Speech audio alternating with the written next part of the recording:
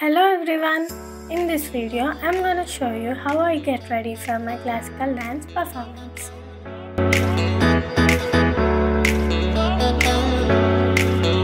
Let's check it out!